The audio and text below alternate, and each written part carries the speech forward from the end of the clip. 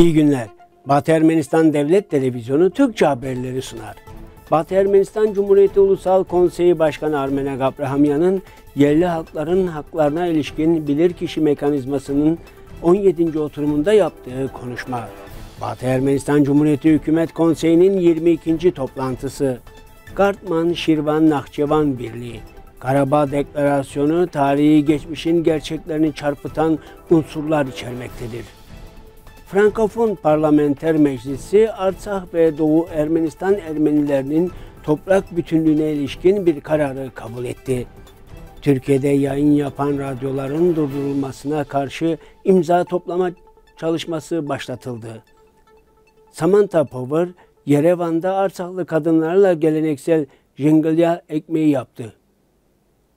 Temsilcilerimiz Gürcistan'da düzenlenecek U18 Avrupa Plaj Voleybolu Şampiyonası'na katılacak. Birleşmiş Milletler yerli halkların hakları bildirgesinde belirtilen hedeflere ulaşmak için devletlerin dayandığı anayasalar, kanunlar, mevzuat, politikalar, yargı kararları ve mekanizmaları söz konusu bildirgenin 38. maddesinin uygulanmasıyla incelemek ve danışmak gerekir. Batı Ermenistan Cumhuriyeti Ulusal Konseyi Başkanı Armenek Abrahamyan'ın yerli halkların haklarına ilişkin bilirkişi mekanizmalarının 17. oturumunda yaptığı konuşma. Günaydın Sayın Başkan. Seçilmenizden dolayı sizi tebrik etmeme izin verin. 10 yıllardır hepimiz Birleşmiş Milletler'in 13 Eylül 2007'de yerli halkların hakları bildirgesini kabul etmesini sağlamak için gecelerimizi gündüzlerimizi çalışarak adadık. Batı Ermenistan Cumhuriyeti Ulusal Konseyi Başkanı Armenek Abrahamyan, Cenevre'de yerli halkların haklarına ilişkin bilirkişi mekanizmasının 17. oturumunda konuşmasına böyle başladı. Abrahamyan bu tarih ve bu deklarasyonun Birleşmiş Milletler üyesi devletlerin yerli halklara yönelik tutumlarında bir değişimin temelini oluşturması gerekirdi yerli halkların kendi uyruklarına ve geleneksel olarak ait oldukları topraklara ve kaynaklara sahip olma hakkına sahip olduklarını vurguladı. Ulusal Konsey Başkanı hepimizin savunduğu bu dünyada genetik kaynakların yok edilmesini, ayrımcılığı, soykırımı, etnik temizliği durdurmayı umabiliriz. Çünkü bunun için buradayız. 38. maddeyi hatırlayabiliyoruz dedi. Ancak o geçen Temmuz ayında tam da bu yerde Bakü Silahlı Kuvvetleri tarafından 120 bin yerli Ermeninin kuşatılmasını ve rehin alınmasını ve Bakü'nün Artsak'ın yerli Ermeni nüfusuna yönelik soykırım niyetini kınadı. Abrahamyan şöyle devam ediyor. 29 Eylül 2023'te yani bu protestodan neredeyse iki ay sonra soykırım yapma kastı soykırım suçuna dönüştürüldü ve bunun sonucunda 120 bin yerli Ermeniye yönelik etnik temizlik uygulandı. Bunlar 1894-1923 yılları arasında Batı Ermenistan'da Ermenilere karşı yapılan soykırımı Armenosidi hatırlatıyor. Armenek Abrahamyan ve buna rağmen Birleşmiş Milletler tüzüğünü ve ilgili sözleşmeleri ihlal eden bu devlet bu ünlü örgütün üyesi olmaya devam ediyor diye ekledi. Genel sekreter ve özel raportörlere çeşitli taleplerin iletildiğini vurguladı. İki rapor gönderdim. Bunlardan biri internette yayınlandı ancak yanıt gelmedi. Bu nedenle adaletin yerini bulması adına mahkemeye özellikle Avrupa İnsan Hakları Mahkemesi'ne başvurmaya karar verdim diye konuştu. İşte bu nedenle Batı Ermenistan Ulusal Konsey Başkanı Armenek Abrahamyan, Birleşmiş Milletleri yerli halklara karşı işlenen soykırım suçlarını kınamaya, yerli halkların davaları Uluslararası Adalet Divanı'na gönderme taleplerini değerlendirecek özel bir komisyon oluşturarak terörist devletlere karşı daha sert bir duruş sergilemeye çağırıyor. Bu tür suçlar durumunda derhal gerekli adımların atılması ve Bakü'nün soykırımsal saldırganlığından sorumlu tutulması gerekir. Armenak Abrahamyan, Dolayısıyla geçen yıl burada bulunan hepiniz benim protestomun ve Artsak'taki nüfusuma yönelik etnik temizliğin doğrudan tanıklarıydınız. Bu, bugün asırlık mirasımızın sistematik olarak yok edilmesine, başka bir deyişle tamamen yok edilmesine yol açtı. Ermeni nüfusunun varlığına dair tüm izlerin topraklardan silinmesi diye vurguladı. Bütün bunlara rağmen kararlılıktan bahsetti.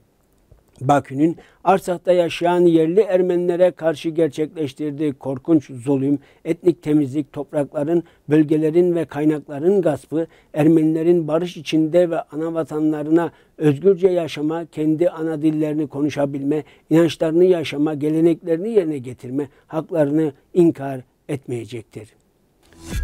Batı Ermenistan Cumhuriyeti Hükümet Konseyi'nin 22. oturumu 8 Temmuz'da gerçekleştirildi. Bu toplantıda Batı Ermenistan Cumhuriyeti Devlet Başkanı Bayan Lidya Margosyan açılış konuşmasında bulundu. Bayan Margosyan katılımcıları selamlayarak Birleşmiş Milletler'in yerli halkların haklarına yönelik uzmanlık mekanizmalarına adanan 17. oturumuna değindi.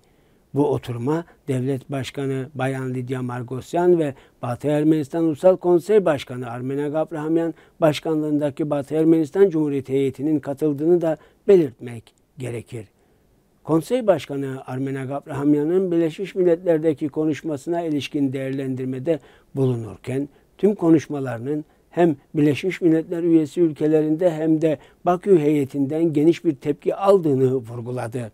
Ayrıca Başkan Armenak Abrahamyan'ın yerli halklar olarak haklarımızı temsil etmeye devam edebilmemiz için Birleşmiş Milletler'in kapılarını bize açan ilk kişi olduğunu da hatırlatmak gerekir.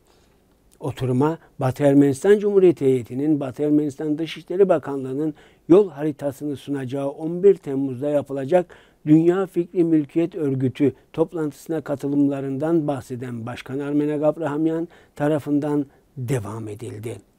Batı Ermenistan Ulusal Konsey Başkanı Armenak Abrahamyan, Doğu Ermenistan'da düzenlenen Vartavar Bayramı'nın yerel geleneklerimize uymadığını hatırlattı. Eski Ermeniler için sulamak veya serpmek için su yoktur. Su hiçbir şekilde kullanılamayan genetik bir yaşam kaynağıdır. Su aynı zamanda kendisine has özellikleri olan bir maddedir. Burada suyun en aza indirildiğini, geleneksel bilgilerimizin tahrip edildiğini ve itibarsızlaştırıldığını ve hepsinden önemlisi su fakiri nüfusa saygı gösterilmediğini açıkça görüyoruz. Eski geleneklerimize, geleneksel bilgilerimize uymayan hayların değerlerinden çok uzağız. Oturumda bakanlar ve hükümet üyeleri konuşmalarda bulundu. Ayrıca gündemdeki birçok konuda görüşüldü. Türk Devletleri Teşkilatı'nın 6 Temmuz'da resmi olmayan zirvesinde Cumhurbaşkanı Erdoğan'ın katılımı olmadan sözde Karabağ Deklarasyonu kabul edildi. Ancak komik önsözünden başlayarak tarihi geçmişin çarpıtılmasına ve güncel gelişmelerin tek taraflı değerlendirilmesine yönelik bariz unsurlar içermektedir. Pan-Ermeni Birliği olan Gartman Şirvan Nahçıvan bu konuda uyarıyor. Türkiye ülkeleri büyük ölçekli personel mayın temizleme çabaları da dahil olmak üzere işgalden kurtarılan toprakları yeniden inşa etmek ve rehabilite etmek için Bakü hükümeti ve halkıyla dayanışma içindedir. Bu yüz binlerce Azerbaycanlı eski yerinden edilmiş kişinin geri dönüşü için koşullar yaratacaktır. Bu kadar geniş bir dayanışma boyutuna sahip olan deklarasyona imza atan tüm devletler Şuşi Ermenilerine tarih boyunca 1920, 1989, 2020'de yapılan çoklu etnik temizliğe karşı halkların adına dayanışmayı ifade etmektedir. Birlik, Bakü'deki eski zorunlu yerleşimcilerin geri dönüşü konusunda endişelerini dile getirirken, Türkiye ülkelerinin liderlerinin neden sadece aylar önce Artsak'ta yaşanan ve bunun sonucunda devam eden etnik temizliği unuttuğunu vurguluyor. 2020'deki savaştan sonra yaklaşık 120 bin Artsah Ermenisi uluslararası hukukun geri dönüş hakkını kullanmak için sağladığı tüm fırsatlara sahip olmasına rağmen Bakü'nün reddiyle karşı karşıya kalarak mülteci haline geldi. Öyle görünüyor ki Bakü rejimi bu Türkiye ülkelerin koşulsuz desteğiyle 1988-1994'te olduğu gibi Laçin koridorunu 10 ay süreyle kapatarak sanki Artsak'ta açlığa ve genel olarak sistematik insan hakları ihlallerine yol açacak bir insani felaket yaratmadı. 2016 yılındaki 4 gün, 2020'deki 44 gün, Eylül 2023 savaşları sırasında sivilleri ve altyapıyı hedef aldı. Ancak yukarıda bahsi geçen insani meselelerle ilgilenen Azerbaycan rejimi sivil halkı hedef almaya, sadece savaş durumlarında alışkın değildir. 1988 Sumgayit, 1990 Bakü, 1992 Maraha gibi Ermeni köyleri ve yerleşim yerlerinin Kırım ve pogromları ve tarihi Gartman, Şirvan, Nakçıvan'ın sistematik olarak Ermenilerden arındırılması hatırlatılarak bunun Bakü'nün bir asırdan fazla bir süredir Ermenilerle sonu gelmeyen savaş içerisinde olduğu vurgulanmaktadır. Gartman, Şirvan, Nakçıvan Pan-Ermeni Birliği, Bakü'nün benzer deklarasyonlarla tehditlerini sıkı bir şekilde eleştirmektedir. Ki bu geçen yüzyılda başarısızlıkla sonuçlanan pan-Türkist ideolojisini anımsatmaktadır. Birlik, deklarasyon tarafları olan ülkelere Bakü'nün avantürist politikalarının taşıyıcıları olmamaları uyarısında bulunuyor ve onları uluslararası norm ve ilkeleri doğrultusunda hareket etmeye çağırıyor. Frankofon Meclisi Arsak Ermenileri ve Doğu Ermenistan toprak bütünlüğü ile ilgili tasarıyı kabul etti.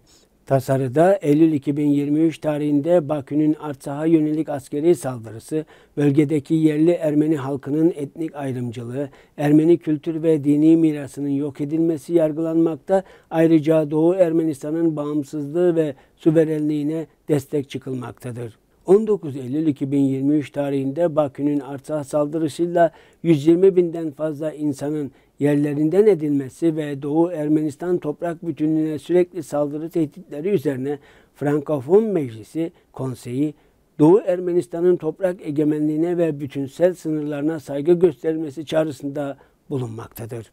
Frankofon Meclis Konseyi tüm bu olayları şiddetle yargılamakta, Doğu Ermenistan'ın bağımsızlığı ve egemenliğini ikirciksiz desteklemektedir.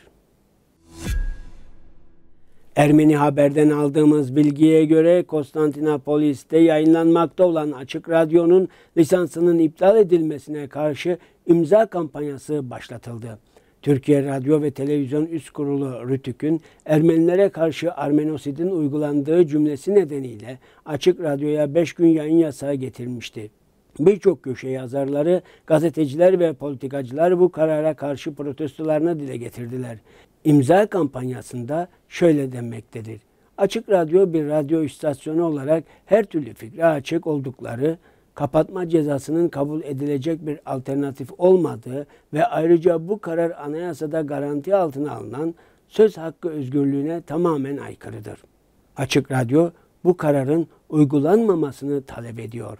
Ayrıca lisansından mahrum bırakılan bu radyo istasyonunun yıllardır yüksek kalitede yayınlar yaptığı da vurgulanmaktadır. Amerika Birleşik Devletleri'nin Uluslararası Kalkınma Ajansı yöneticisi Samantha Power, Yerevan'da arsaklı kadınlarla birlikte jengal ekmeği yaptı. Armen Press'in bildirdiğine göre arsaklı kadınlar ona jengal ekmeğinin nasıl hazırlandığını gösterdiler. Power, jengal ekmeğinin içinde 13 çeşit yeşillik bulunmasına şaşkınlığını ifade etti.